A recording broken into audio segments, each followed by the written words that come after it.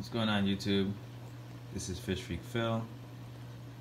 Wanted to give you an update on my Fluval Evo 13.5 and I apologize, I up, tried uploading a video earlier in regards to me dosing Reef Flux. I finally got it up today, some 10 days later, but I thought it was important that I get that first video updated because it showed you kind of a before picture of what was going on, a bit, you know. Um, I've been dosing, I've dosed this and it's supposed to do one dose and let it go for a minimum of, of 10 days maximum, I think 10 to 14 days, I believe it says on there.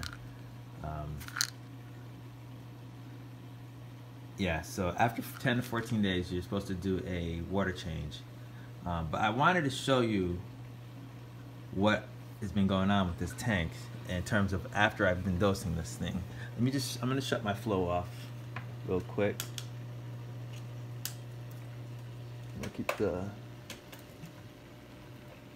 let's see here.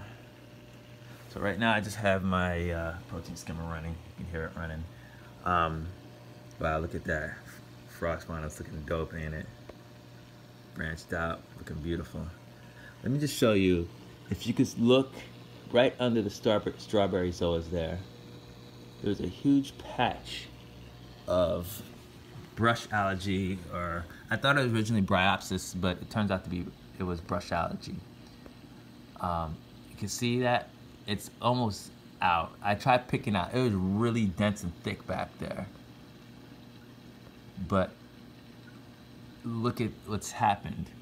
And if you could look all along the rocks near the star polyps there, there's still there's still brush, there's still algae there. It's still there.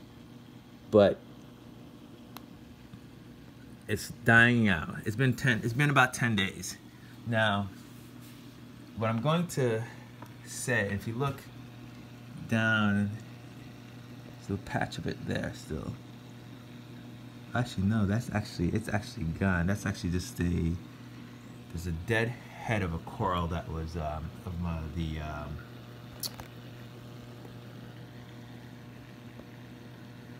there's a spot where it was a dead, um, one of the pops died when I first got the coral. It just never came out. And there was a patch of algae and it's still kind of still in there.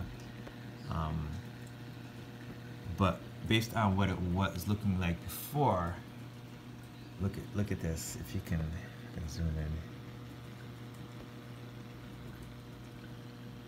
It's basically dying off. Now a couple things you're supposed to dose um,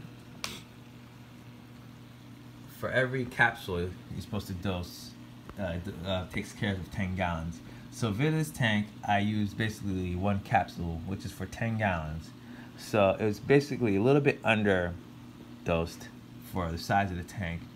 Um, like I said in my previous video, I wasn't I wasn't gonna open up a second capsule to try to get, uh, you know, basically a third out of it. So I just I'm fine with just dosing one capsule for 10 gallons for this tank and letting it run for 14 days. Maybe I might even go a little bit few days more than that. But this works. It like I'm literally watching this huge patch.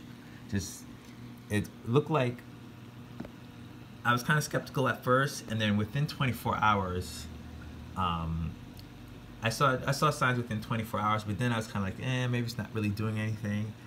But I gotta tell you, like it looks like huge chunks have just kind of, and I'm looking at my skin, and it's probably ending up in my sump in my skin. So when I do my water change, I'm gonna have to do a really big water change on this tank, make sure I get a lot of this out. And um, but it it was a huge patch of it back there, right back there, and I tried pulling it out. wasn't very successful. I didn't want it spreading around the tank. Um, so I kind of just, well, thought, well, let me just dose this and see what happens. It works. There's no, I don't know what else to tell you, but it just works. Um, now, I don't know how effective Reef Flux is versus the generic fluconazole, because that's the active ingredient, ingredient in uh, Reef Flux. It's fluconazole. That's what kills, um, it kills bryopsis and uh, brush algae. Um, there's nothing against bubble algae. As a matter of fact, I got a couple of bubbles I got to go in there and hand remove. Um, because you can zoom in there. Right there. See it? So if you don't know what bubble algae looks like, that's what it looks like. And the trick is, you want to do this very, um, very easily when you're removing that. You can basically get some gloves on, just basically rock it back and forth until it loosens up and, and peels off. But it is more, it's uh, better if you do it while you're siphoning. So just in case it pops, that you siphon any of those spores out of your tank. Because if you don't, if you don't get it out and you pop it, basically the spores are spreading all over your tank. So they're gonna end up landing someplace else. Basically, at that point, you're spreading the algae around the tank. Um, there's there are there are things that eat it, like uh, green em emerald crabs eat uh, eat bubble algae, but you're I think that uh, that's probably, for my opinion, it's a bad decision unless you want a green emerald crab in your tank. But essentially, it's going to go over there, pop the bubble, eat it. But in doing that, it's spreading more bubble algae around your tank.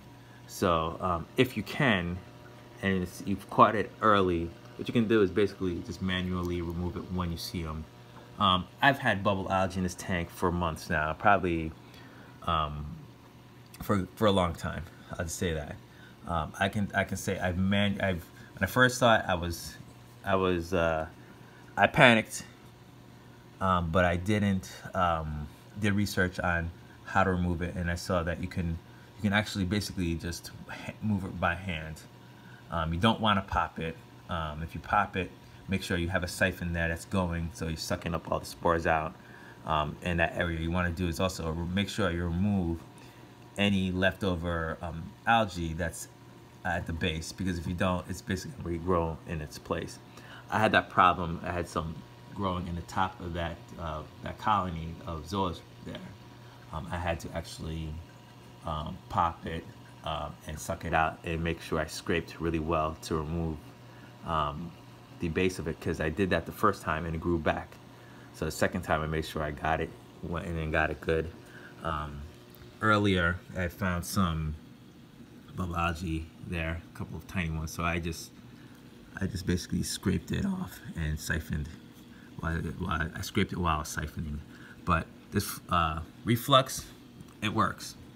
Um, don't go by what I'm saying. Go do research on it. And that, I mean, that's how I found it by actually researching about it. And I was looking for um, just generic, um, generic versions of it. And I found this at Bulk bulk reef.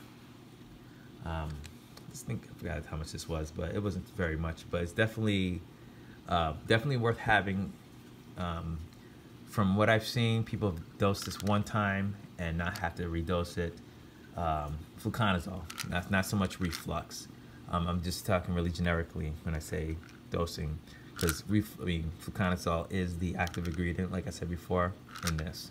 Um, so I've seen people, I've read or watched other videos of people dosing with fluconazole and only having the dose a single time and not have to um, re keep redosing.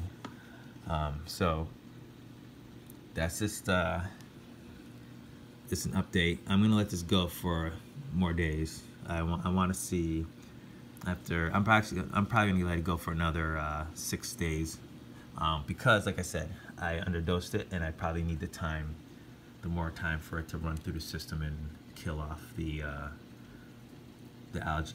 Now, one of the things I did see, and I and I, I apologize because I don't remember the actual name of the video who who uh, who put it out there. But one of the videos uh, I did see um, suggested that when you see the tips turning white when you first dose it, to not remove the not remove the weak algae because it starts it starts getting affected at the tips of the algae and it works its way down to the base.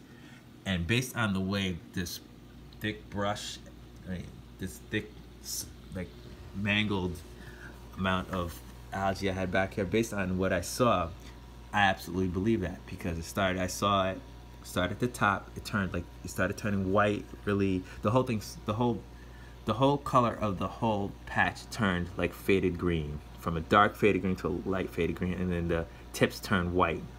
And I'm watching, and I'm watching the whole patch kind of just recede down. So, it absolutely is working. Um, don't. It's not.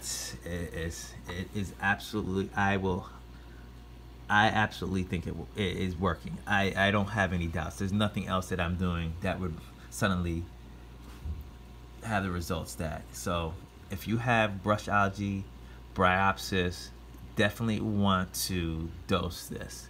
Um, if you don't have it, you may want to just get some just in case. Um, particularly with um, bryopsis, from what I've seen, um, it spreads fast. I originally thought this was bryopsis, but it's not. It was brush algae. Um, so I'm I'm really uh, some soft creep on there. I'm really excited to to see what the end results are as soon as I get done with these uh, uh, other days. Um, I'm also doing it in my other tank, but uh, I got another video I got to do on that because we're having some other issues over there, and I'm actually excited to show you um, but uh, that that's for another video. I don't want to um, talk about that right now. So, but um, yeah, as you can see, my green star polyps are gone.